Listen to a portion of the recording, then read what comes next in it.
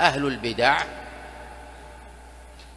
محرومون من الشرب من حوض النبي عليه الصلاة والسلام. في الصحيحين قال عليه الصلاة والسلام ليرفعن رجال ثم ليختلجن دوني فأقول أصحابي.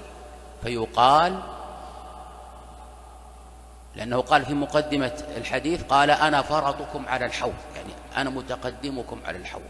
وليرفعن رجال ثم ليختلجن دوني فأقول أصحابي فيقال ما تدري ماذا أحدثوا بعدك.